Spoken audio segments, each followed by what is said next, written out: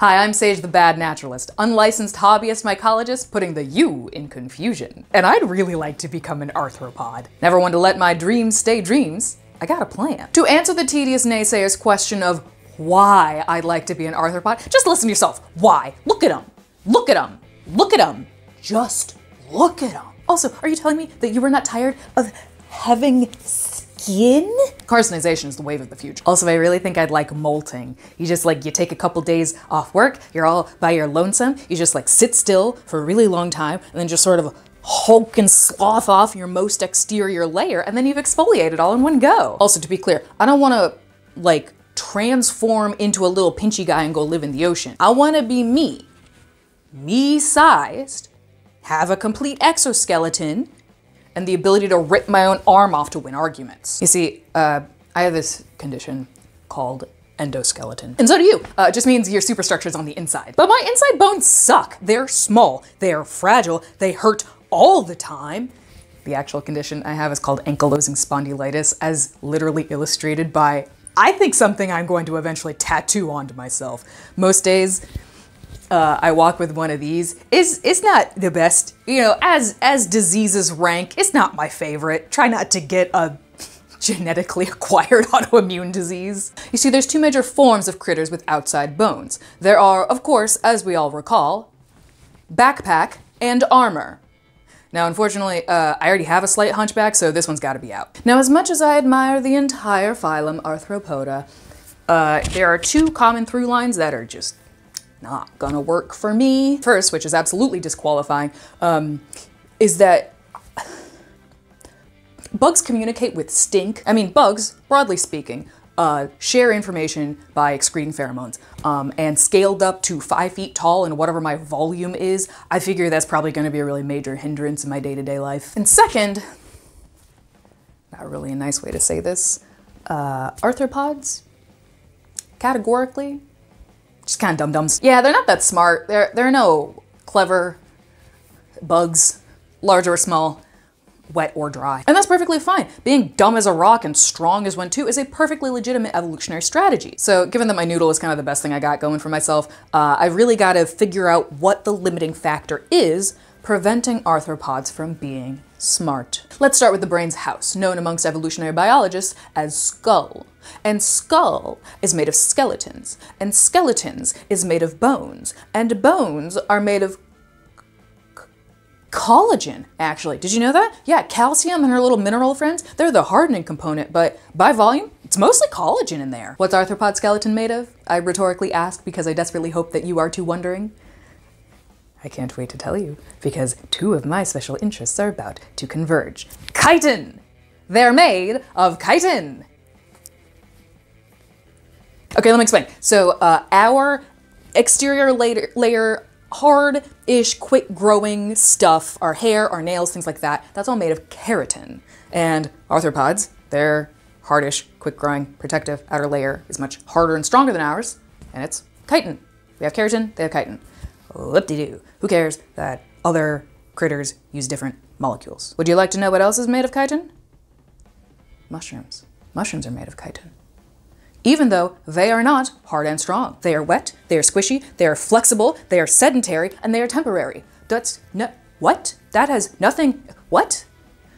What? Absolutely nothing in the natural world is as it seems. All that was once simple in the naturalist journals from days of yore are now incomprehensibly abstract, ill-defined, uncomprehendable. And they all serve as an ever-growing weight on the conscious hours of learned men. We do not know all there is to know about the natural world. We cannot know all there is to know about the natural world because how can it be that mushrooms are made of crab. So anyway, chitin is dope. I'm a big fan of that molecule. Uh, I really hope that AI tech investment funds start diverting their money away from, you know, that whole thing uh, and start instead um, investing in like biomaterials, specifically using chitin because like it is flexible, it is waterproof, it is durable, and yet it decomposes. What are we still using petroleum for?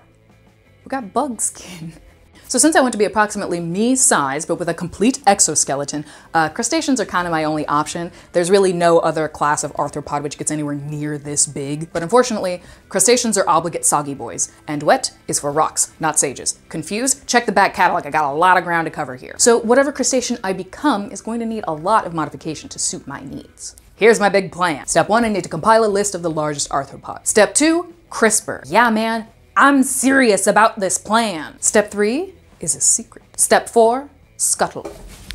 Japanese spider crabs and Atlantic lobsters are the largest arthropods by length and weight respectively, but unfortunately, still not anywhere near human size. I mean, they can get pretty dang big, but still not people sized. And again, I'm meant for life on land, so unfortunately they cannot be the base layer for my creation. Coconut crab's the largest terrestrial arthropod, and I know part of their reproduction cycle happens in water, don't get pedantic with me, but if they stay in that water for too long, they will drown, and that doesn't sound very amphibious to me. So unfortunately, none of these are, are quite right, but since they do get reasonably large, um, they do just sort of stand as a, as a proof of concept of the superstructure that the exoskeleton can support a large volume and weight, however inadequate it might be. So if I were to just somehow like demon possess a coconut crab with my consciousness, I'd really only be about a third of the way to my end goal because remember, my three part checklist is that I need to be me, me sized, with a complete exoskeleton, and have human brain capacity.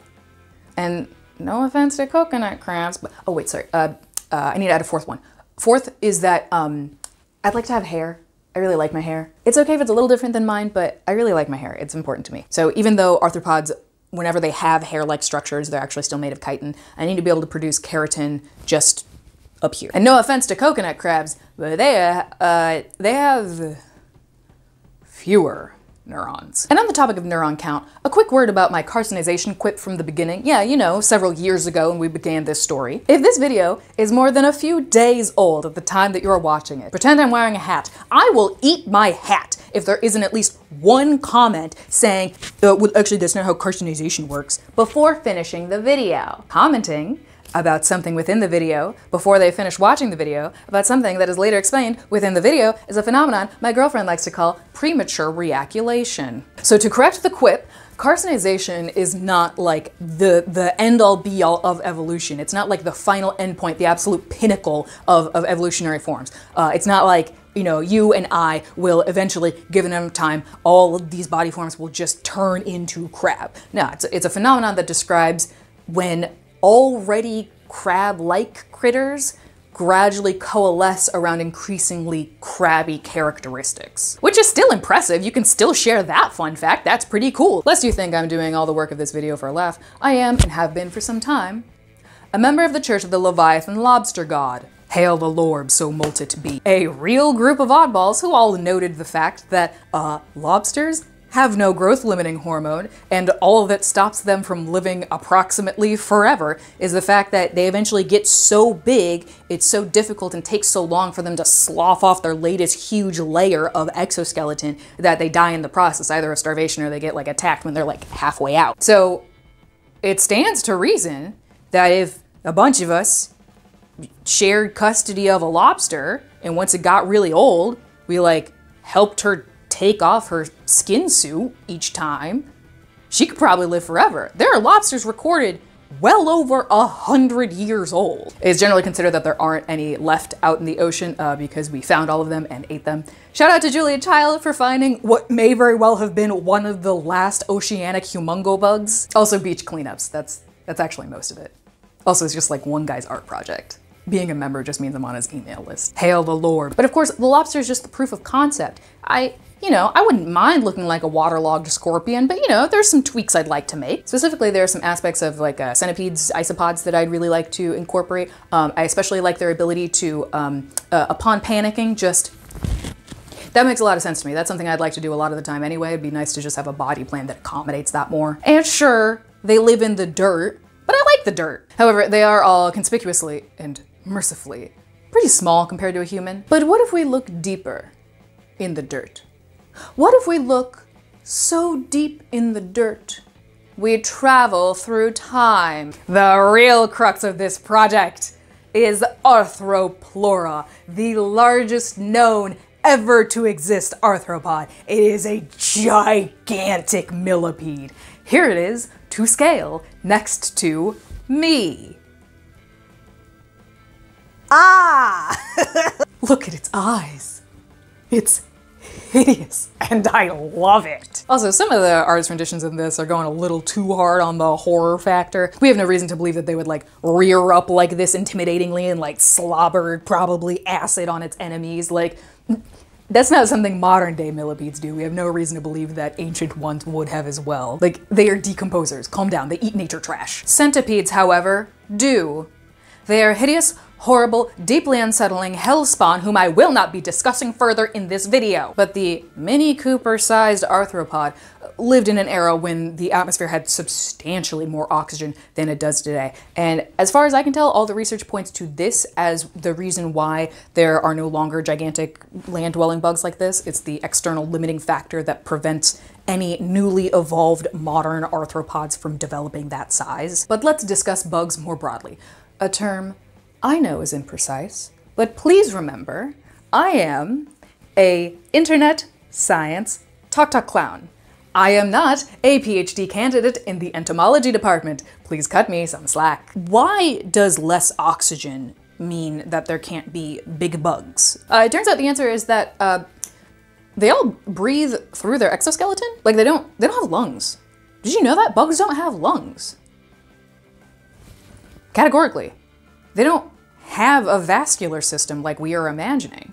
So their entire oxygen delivery system is through, you know, the atmosphere under all their layers, their exoskeletal layers. It just it's permeable, uh, and then it just permeates directly into their organs.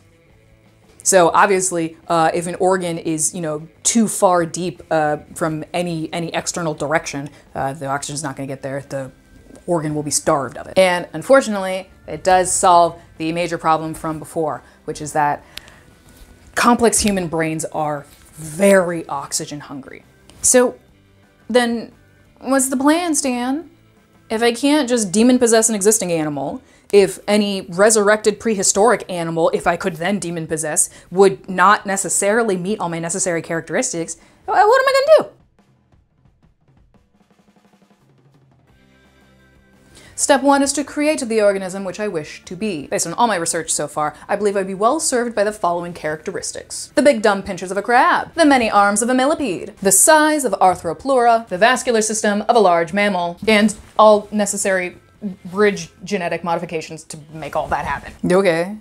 How? Enter CRISPR. CRISPR is a precision gene editing tool, and I do not understand how it works. And it would seem literally every competent and informed engineer, scientist, researcher cannot find a simple way to explain it. And unfortunately, every single journalist who reports on CRISPR when they do the little, and what is this technology anyway? How does it work? section, they all explain it the same inadequate way. I have listened to interviews, watched explainers, read papers, read articles, looked at diagrams. I have done all the research one can do. I have listened to archival material from when it was new. I even went and watched the, the, the TED talk that talked about it.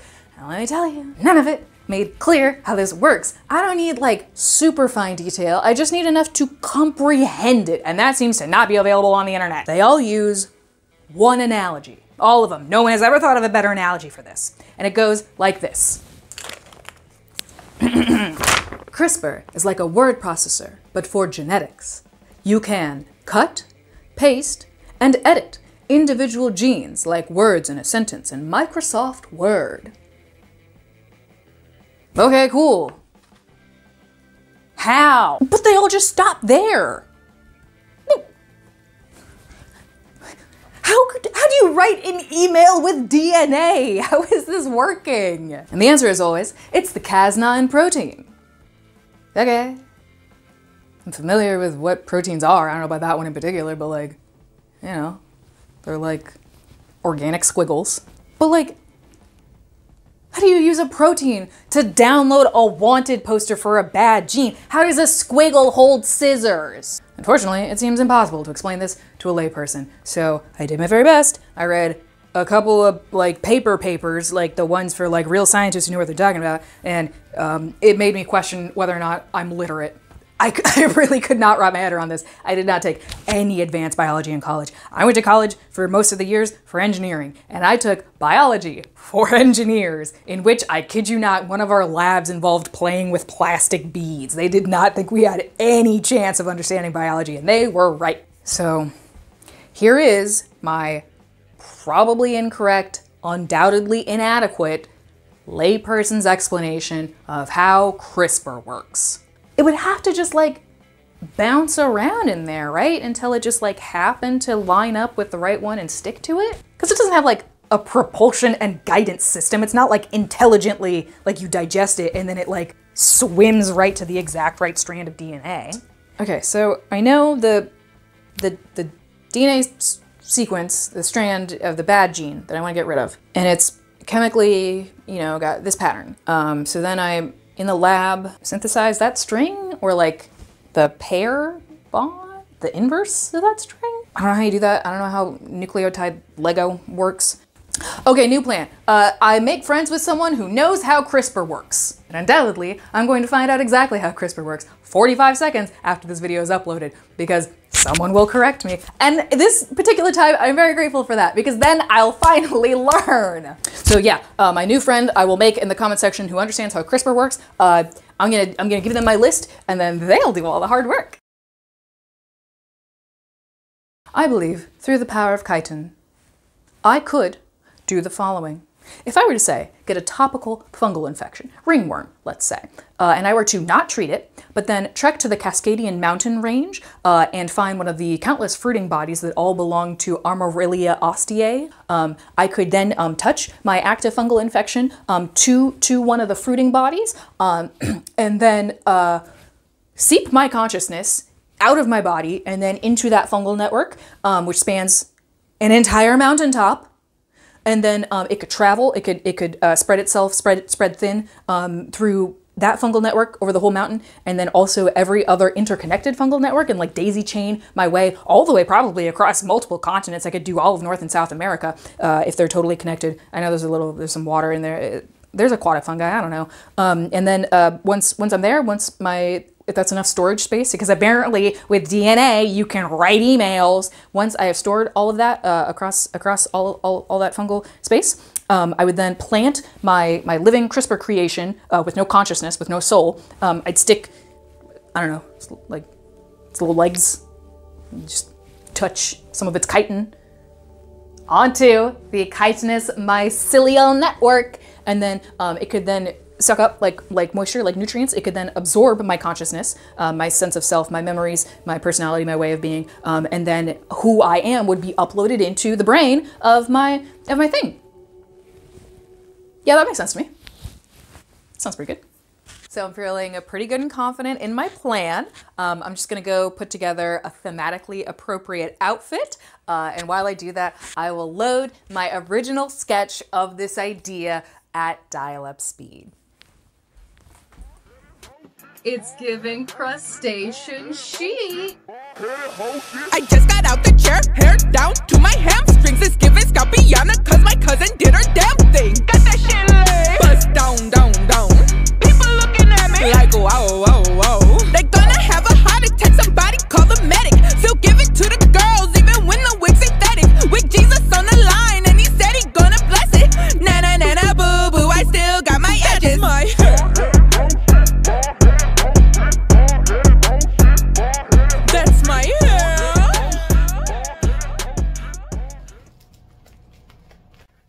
Nerd.